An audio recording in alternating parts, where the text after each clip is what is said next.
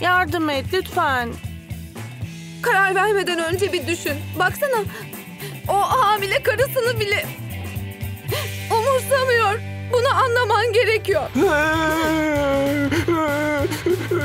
E, neden ağlıyorsun? Ağlıyor şuna bakın sanki bir film yıldızı gibi. Vay be gözlük yakıştı. Şuna bakın. Şimdi oldum. Hizmetinizdeyim. Size yardım edeceğim. Tamam mı? Anlaştık mı?